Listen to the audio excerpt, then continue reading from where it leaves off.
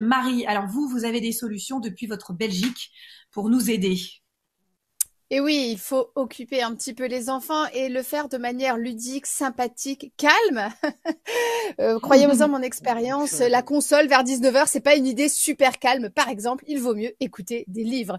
Et heureusement pour nous, il y a énormément de choses qui se font si vous n'avez pas envie de bouquiner. Alors, je vous ai montré tout à l'heure cette collection qui est extraordinaire chez Gauthier Langros de livres CD lus par Elodie Fondacci qu'on peut retrouver en podcast sur Radio Classique. Alors, ceux-ci, ce sont vraiment les préférés de mes enfants. Mais vous allez voir, euh, en ligne, on va pouvoir trouver énormément de choses comme les histoires de Claude Ponty sur France Culture. Alors France Culture, vous allez trouver beaucoup, beaucoup d'histoires, que ce soit donc Claude Ponty pour les plus petits. On va aussi trouver Rudyard Kipling. On va trouver euh, Tintin, Astérix, énormément de choses diverses et variées pour tous les âges. Ensuite, un podcast que je trouve très, très sympa qui s'appelle Salut l'info en partenariat entre Astrapi et France Info. Chaque jour, eh bien, on va avoir un petit podcast qui va expliquer l'info de manière très, très, très pédagogique à nos enfants.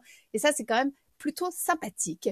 Ensuite, vous, Benjamin, qui êtes féru de mythes et légendes, oh oui, je le sais, eh bien, rendez-vous sur mythes et légendes, le podcast.fr. Vous allez trouver cinq minutes de mythes et légendes, comme son nom l'indique. Alors, on aura les travaux d'Hercule, les écuries d'Augias, tout ce qui nous plaît et tout ce qui passionne les enfants, on le sait. Ensuite, énormément d'auteurs vont lire leurs livres pour les enfants. C'est le cas de Thierry Lenain.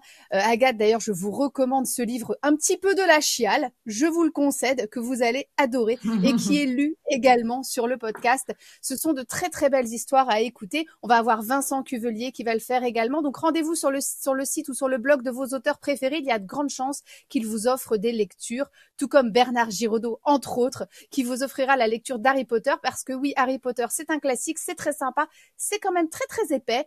Et si on veut le lire tous les soirs, eh bien, ma foi, ça prend un peu de temps. Donc pourquoi ne pas proposer une lecture à écouter?